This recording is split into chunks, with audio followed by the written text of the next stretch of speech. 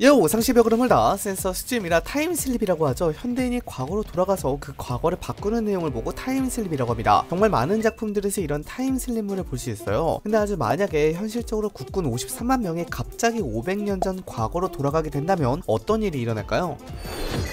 일단 정말 단순히 생각해서 국군이 500년 전 조선으로 가게 된다면 국군 53만 명은 상당히 어리둥절할 거예요. 클리셰처럼 여기가 어딘지 알아보려고 하겠죠. 근데 과거에 왔다고 알게 되는 순간은 그리 오랜 시간이 걸리지 않을 겁니다. 일단 당장 통신부터 막히게 됩니다. 오늘날 GPS 등을 활용한 위성 통신은 군부대에서 아주 많이 사용하고 있습니다. 근데 인공위성이 없으니까 이런 통신 체계는 모두 다 막히게 됐죠. 이렇다 보니 서로 간의 통신이 원활하게 이루어지지 않으면서 이곳을 고치기 위해 고군분투할 때 500년 전으로 왔다고 직감을 하게 될 거예요. 당장 휴대폰이나 전자기 기기의 사용도 제한적일 거고요. 그런데 이런 상황에서 갑자기 조선군이 국군을 공격하지 않을까 싶습니다. 분명 조선은 국군을 오랑캐라고 생각을 할 거예요. 복장도 이상하고 한성 인구가 그때 당시에 10만에서 20만 명 정도인데 그의 두 배 이상에 달하는 병력이 하늘에서 뚝 떨어졌으니 당연히 이상하게 생각을 했을 겁니다. 그래서 이들을 오랑캐라 생각하고 국군에 대한 공격을 할 텐데요. 이 과정에서 국군은 자신들이 500년 전으로 갔다는 것을 자각하게 될 겁니다. 문제는 이 500년 격차가 너무나도 크기 때문에 조선군이 공격을 해봐야 유의미한 타격을 주지는 못했을 겁니다. 조선군의 공격은 일방적으로 학살로 끝날 거예요. 그리고 국군은 지속적으로 조선 조정과 대화를 시도하려고 할 겁니다. 추후에 말씀드리겠지만 보급의 문제가 제일 크고 자신들이 살아남으려면 조선 조정과 협력을 해야지 살 수 있거든요. 그래서 지속적으로 대화를 시도하겠지만 대화 자체가 안 될 가능성이 있습니다. 500년 전의 한국어와 지금의 한국어는 천지 차이입니다. 처음 보는 어휘의 의사소통은 아예 불가능 수준일 겁니다. 한자를 통해서 의사소통을 할 수도 있겠지만 현대와 다른 정서법으로 인해서 의사소통이 힘들 것 같고요. 무엇보다도 유교를 중시하는 조선 조정 입장 에서는 국군을 협력의 대상이라기보다는 척결의 대상으로 볼 가능성이 커 보입니다. 그래서 어쩔 수 없이 국군은 조선 조정을 공격하게 될 텐데요. 여기서 문제가 하나를 생깁니다. 일단 의사소통 자체가 안 되니까 민사작전 자체가 불가능할 거고요. 설령 바디랭귀지를 통해서 의사소통을 한다고 하더라도 주민들은 국군을 그렇게 호의적으로 보지 않을 겁니다. 왜냐면 오랑캐이기 때문이죠.